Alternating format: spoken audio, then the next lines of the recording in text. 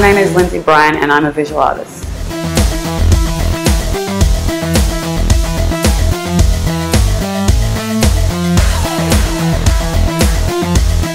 I'm inspired by nature and urban landscapes and also nature in urban landscapes.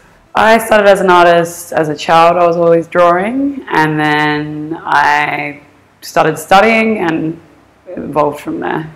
You can find more of my work on Lindsey Bryant Art uh, Facebook page. My name is Lindsey Bryant and I am a raw artist.